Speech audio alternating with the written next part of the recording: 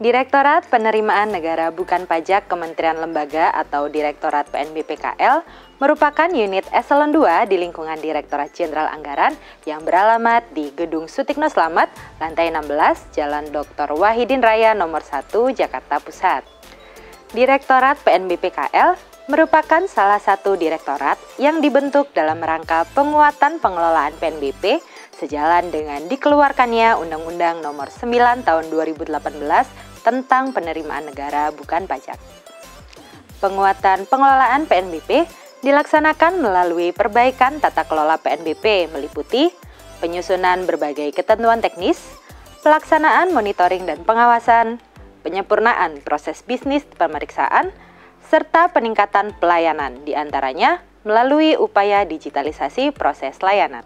Dalam pelaksanaan tugasnya, Direktorat PNBP-KL berkoordinasi dengan Kementerian Lembaga selaku instansi pengelola PNBP. Mitra koordinasi Direktorat PNBP-KL adalah sejumlah 78 kementerian lembaga.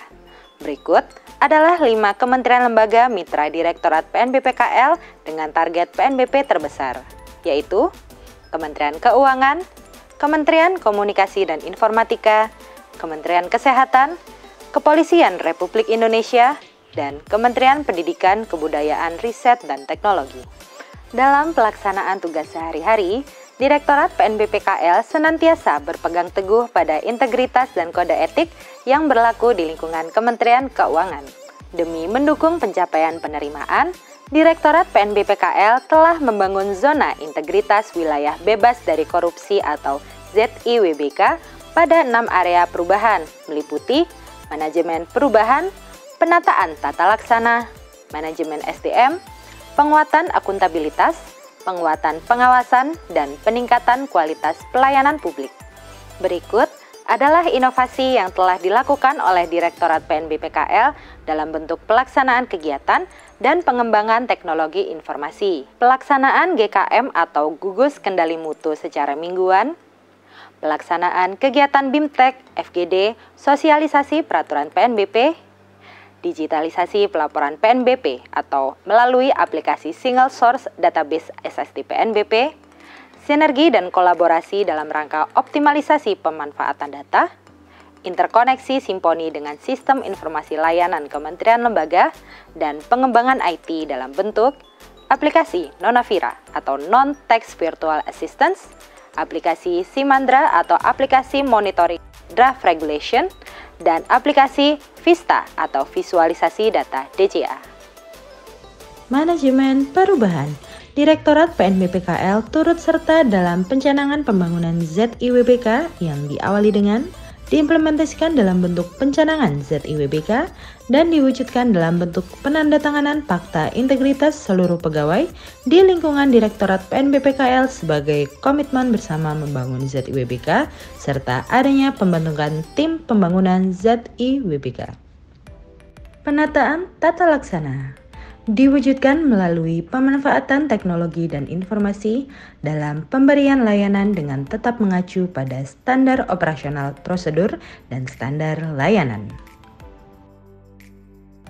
Penataan sistem manajemen SDM mengacu pada hasil analisis beban kinerja pada masing-masing subdirektorat yang kemudian menjadi dasar pembahasan dan penetapan mutasi internal yang melibatkan seluruh kepala subdirektorat.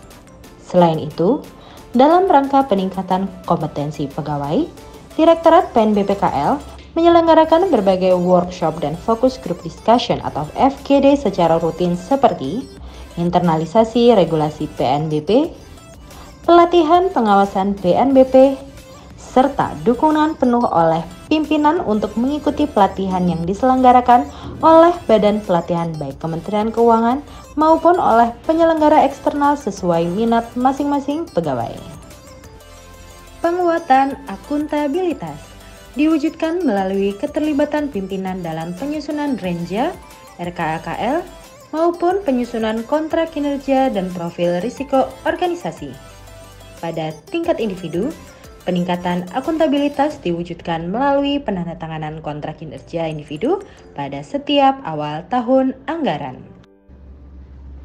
Penguatan pengawasan diimplementasikan melalui penyediaan saluran pengaduan baik secara offline yang dapat disampaikan secara langsung melalui kotak masukan pada lobi gedung DJA atau dapat juga disampaikan secara online antara lain melalui email pengaduan, situs Wise Kemenq, aplikasi lapor, maupun melalui chat WhatsApp. Peningkatan kualitas pelayanan publik. Direktorat PNBPKL senantiasa melakukan inovasi dalam pemberian layanan dengan semakin memanfaatkan teknologi informasi dan komunikasi secara digital. Penelaahan target PNBP secara online melalui aplikasi 1 DJA yang juga sudah tersinkronisasi dengan DIPA dan RKAKL. Penggunaan aplikasi 1 DJA tersebut diharapkan dapat meningkatkan efisiensi dan efektivitas pelaksanaan penelaahan target PNBP. Hadirnya fitur-fitur baru dalam aplikasi Simponi, di antaranya pembuatan billing dengan tarif Rp0, dan pencarian transaksi berdasarkan kode billing dan NTPN. Dalam proses penyelesaian penyusunan peraturan jenis dan tarif PNBP, Direktorat PNBPKL menggunakan aplikasi Simandra atau Sistem Informasi Management Draft Regulation yang dapat memudahkan untuk melakukan monitoring serta automatic reminder dalam pelaksanaan penyusunan regulasi PNBP. Direktorat PNBPKL juga melakukan pengembangan aplikasi PNBP Mobile yang diharapkan dapat meningkatkan kemudahan akses pengguna layanan PNBP melalui gawai masing-masing.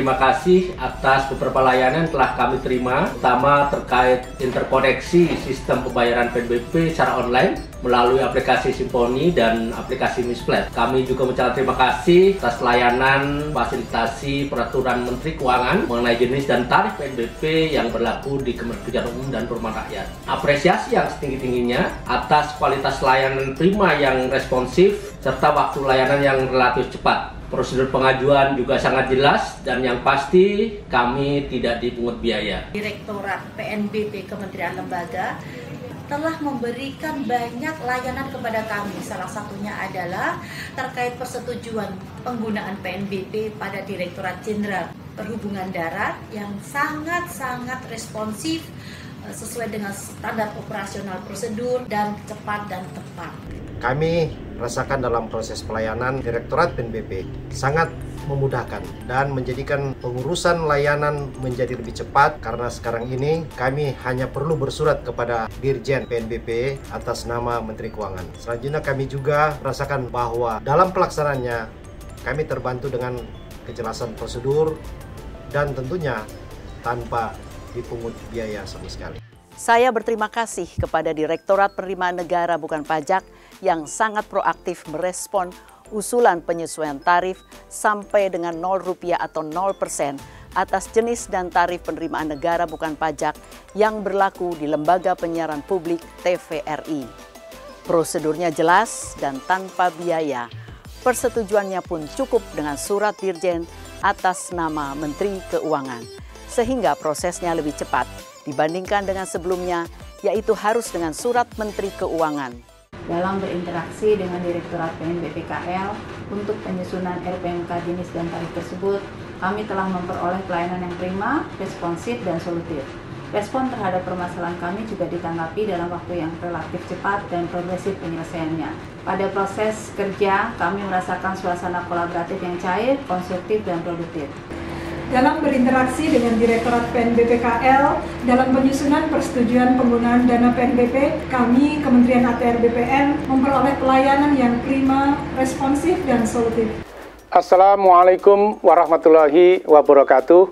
Saya Wawan Sunarjo, Direktur Penerimaan Negara Bukan Pajak Kementerian Lembaga, bersama seluruh pegawai bertekad mengawal reformasi PNBP dengan menciptakan ekosistem tata kelola PNBP yang baik, mencapai target PNBP guna memperkuat ketahanan fiskal dan mengembangkan layanan PNBP yang inovatif berbasis teknologi informasi. Kami juga berkomitmen mewujudkan zona integritas menuju wilayah bebas dari korupsi dengan memberikan layanan terbaik kepada seluruh pemangku kepentingan, baik internal maupun eksternal, dengan semangat.